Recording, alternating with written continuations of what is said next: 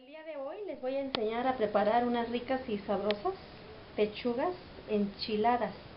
Entonces, para las pechugas necesitamos guajillo, chile ancho, nada más tres piezas de chile ancho, tres pimientas, tres clavos, una cucharadita de comino, tres dientes de ajo, una cebolla mediana, sal, orégano, pero si no tienen orégano, orégano no se preocupen, y vinagre de piña casero, que ya por ahí está el video que ya les enseñé cómo prepararlo, y agua. Y entonces aquí están las pechugas de pollo, las pedí en bisté, son en las pechugas. Y aquí las voy, este, entonces lo primero que voy a hacer es a remojar mi chile con agua caliente. Vamos a juntar los chiles, a remojarlos unos minutitos acá, para que estén blanditos y se puedan moler fácil. Entonces, lo que se remoja mi chile, voy a moler mis ingredientes. Es el ajo, vamos a agregar a la licuadora, la cebolla, el orégano ya está molido, es muy poquito orégano que se le agrega, la mitad de la cucharadita. Sal, una cucharada, una cuchara sopera de sal. Entonces agregamos el comino, agregamos los, las pimientas y los clavos y con el vinagre de piña molemos los ingredientes.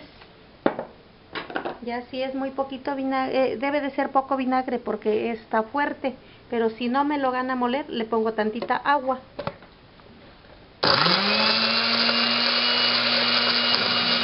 Entonces, como podrán ver, ya este, mis ingredientes ya están molidos. Ya se los eh, agrego aquí a lo de las pechugas.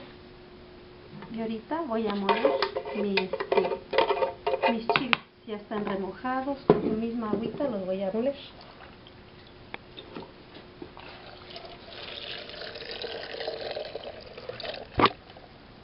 y quedan bien sabrosas las pechugas de pollo.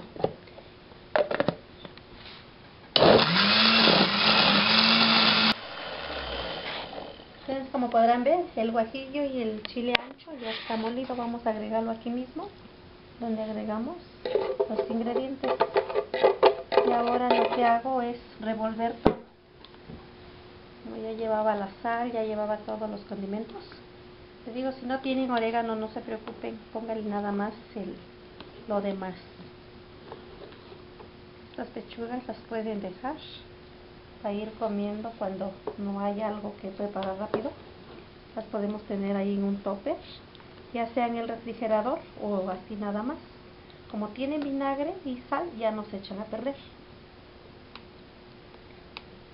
Y así quedan las pechugas. Ahí está. Entonces, si ustedes desean ponerle aceite a su sartén y si no, nada más se puede asar al vaporcito, pero como acá mi hijo sí le gusta con grasita, le voy a poner una poquita de grasa, le vamos a poner nomás dos cucharaditas de grasa, que es aceite, ¿verdad? Entonces ya está caliente el sartén. Como les digo, esto les dura, ¿por qué? Porque ya tiene sal y vinagre no se les echa a perder, así lo pueden dejar una semana y no, pasa nada. Como podrán ver, ya la pechuga ya está cocida. La dejé cocer como por 8 o 10 minutos. Como están gruesos mis pechugas, ahora sí que grandotas, que nada más. Tampoco no se antoja.